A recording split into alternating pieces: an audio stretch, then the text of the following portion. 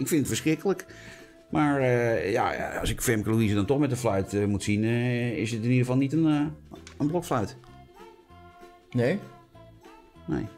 Oh, nou ja, dan Ja, moet- jij wil dat ik vieze dingen ga Ja, ja, ja. Ja, je zit te wachten dat ik, dat ik vraag of ze in elk gat een blokfluit wil steken en dat soort dingen. Of, of dat is een keer op jouw fluit. Oh, dat moet ik dat even zeggen. Doe ah, oké, dat wil je wel. Ja. Hè? Doe maar. Een nette, nette man als ik. Doe maar. Doe maar.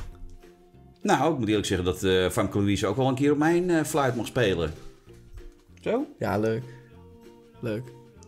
Kun je misschien nog iets, iets plat. Iets platter. Nog iets plat. Ah. Nou, ik eh, denk dat Femke Louise ook wel een paar valse nootjes op mijn fluit mag blazen. Zo? Ja. Nog iets plat. Nou, ik moet eerlijk zeggen dat het mij helemaal geen enkel probleem lijkt dat eh Femke Louise eh, ook nog een keer flink eh, mijn fluit in het mondje neemt. En ik zou je vertellen, dan zou ik je vertellen dat eh, mijn akkoorden in ieder geval vloeibaar eruit zullen komen. Zo? Dan mag ze daarna nog een keer op jouw gezicht. eh. Even op het gezichtje Ja, gooi die nog een keer. Iets leuk.